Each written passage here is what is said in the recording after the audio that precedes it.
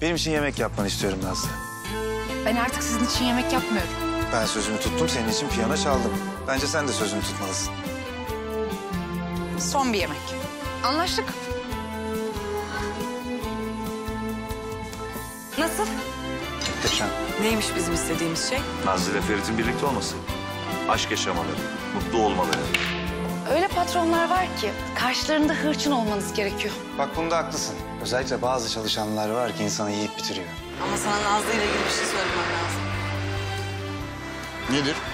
Ben özgür balık olmak istedim. Sen sadece özgür olmak istemiyorsun Nazlı. Sen benden kaçmak, uzaklaşmak istiyorsun. Ama kaçamıyorum. Bana karşı her zaman, her koşulda dürüst olduğunu söyleyebilir misin? Dolunay yeni bölümüyle Salı akşamı Star'da.